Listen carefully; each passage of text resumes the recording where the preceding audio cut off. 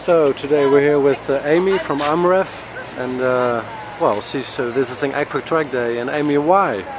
Why am I visiting the Akvo Track Day? Yeah. Well, uh, because uh, well I work for AMREF Flying Doctors. Mhm. It's an African health organization and I'm very interested in how we can uh, make people see all the things we do in uh, in Africa. Okay. Uh, I'm responsible for communications and PR, and I think it's very interesting in how we can use more online tools to tell people what we do. Okay. And uh, uh, you think you, you can use some of the stuff you learned today over here? Well, yeah, really, I think we can. Um, in Africa, especially, uh, a lot of people use mobile phones. A lot of people already using uh, uh, mobile applications or, or online applications.